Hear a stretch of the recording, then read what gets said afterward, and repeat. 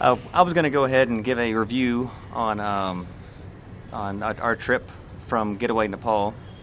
Raj was a a fantastic, um, I guess, logistics um, Coordinator. coordinator. So we took a trip. We took a, a trek from Jomsom and trekked to Lomantang and and back again Festival. at the Tiji Festival. It was just it was phenomenal. It was great. The um, the scenery was beautiful. Uh, we had our, our guide.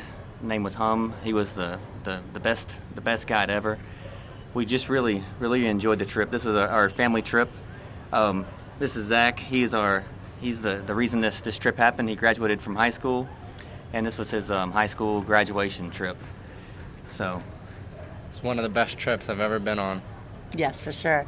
And we made some changes towards the end, and um, Raj was able to just fix everything. We wanted an extra day in Pokhara and Kathmandu, and he changed our flights and added our hotels with no problem at all.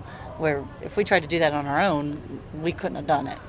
yeah, we also got added on a, a, a flight to um, I guess past Everest. Everest. So that was something that was taken care of with with with no problems at all. Just you know give him a call, and um, he went ahead and had it taken care of when we arrived at Kathmandu. Um, all the accommodations in Kathmandu and in all the tea houses, um, all the way to Lomantang, were all just were, were wonderful. And we didn't have to worry about anything. We didn't even know what day of the week it was. We didn't know what day it was. We didn't know anything. We just enjoyed our trip, and Raj took care of everything. Yeah, we enjoyed all 12 days of trekking and two days in Pokhara, three Yeah, days in Kathmandu. Three weeks total. And uh, everything was top notch due to Raj and uh, the guides and porters, Home, Saiche, Bikram, and Kaleti. And we'll for sure come back as soon as we get a chance. Definitely come back, and we'll definitely go through Raj and Getaway Nepal. Yeah, Getaway Nepal was wonderful. Getaway Nepal!